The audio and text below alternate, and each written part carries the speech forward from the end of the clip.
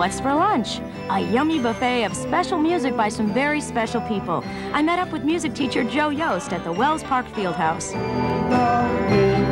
Special music by special people.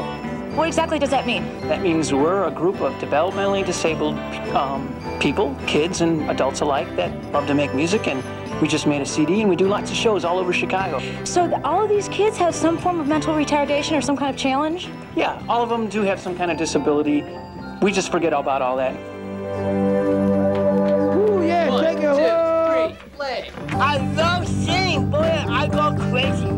Yeehaw! Oh, yeah! I say ice cream, you scream. Good thing. I scream, you scream, we all scream for ice cream, yeah.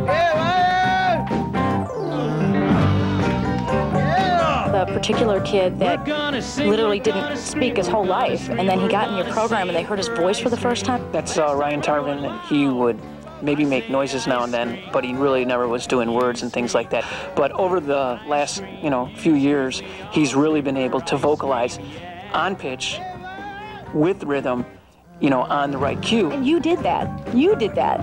The music We're did it. gonna sing, we're gonna scream, we're gonna scream, we're gonna sing for ice cream. He's adorable. Yeah, I think so. Oh, he has a ball. He loves to come here. I think he really enjoys it a lot. It helps make him more verbal. Yes! Do you like Clint Black? Yeah, Who's your favorite composer out there? uh, Garth Brooks. Garth Brooks? Yeah. I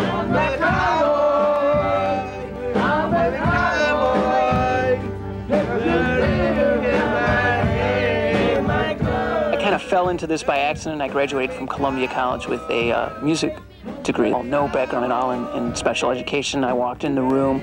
A lady grabbed me by the arm because I had a guitar and, and just assumed that this would be a great thing for the class to be doing. And she said, pulled me in and said, do your thing. And I looked in the class and I freaked out. And I was like, what am I doing and why do I want to do this job? So after three weeks of coming in, I got over my little shock. And then I realized that, you know, we could have a really good time with the music. And I realized that these kids were kind of a little bit more loving and caring and, and listened more and, and, and, and just had a good time. You know how cool it is to have a CD out? You guys Yeah, we have a got CD out. And they're only like $10. And then the cassettes are like $7.99. And one of the main objectives is to sell the CD so that the program can propel itself. You know, so many times rock band people are just in it for the chicks. But you guys have hearts of gold. You guys do it for what? Snacks. Just It's, it's all for snacks. snacks. All for snacks. All for snacks. Lots of snacks here. Not getting a dime off that CD. No, nothing at all. Check my pockets. they become like stars. You know, they become effervescent. These kids, you know, they're, they're hams. They're like uh, they're ham. They're hams for hamburger. You know. I just uh, have for hamburgers. I just got ham for hamburgers. So hey Joe, where can people get this CD? You can get the CD by dialing 312-747-1278, or you can get it at Tower Records or Noodle Kidoodle or, or Best Buy.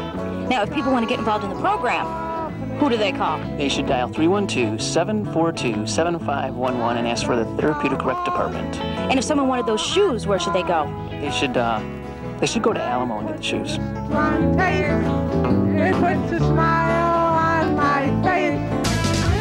Will and his correspondents will be back next week with another exploration into wild Chicago. But in the meantime, we want to hear from you. Send us those wild ideas of yours. Mail your suggestions to Wild Chicago, 5400 North St. Louis Avenue, Chicago 60625. Or email us when visiting our very cool website at WTTW.com. And for complete information on tonight's show, call customer service at 509 1111, extension WILD. Thanks for watching.